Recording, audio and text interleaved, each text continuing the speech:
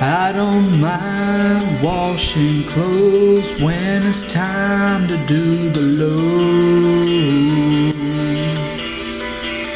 But I can't put up another night when my hamper's already overfilled.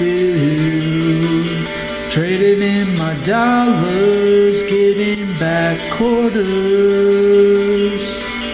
Put 'em in machine, turn on the water.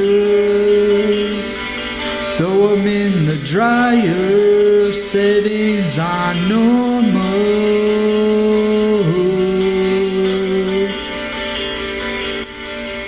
And I'm doing laundry.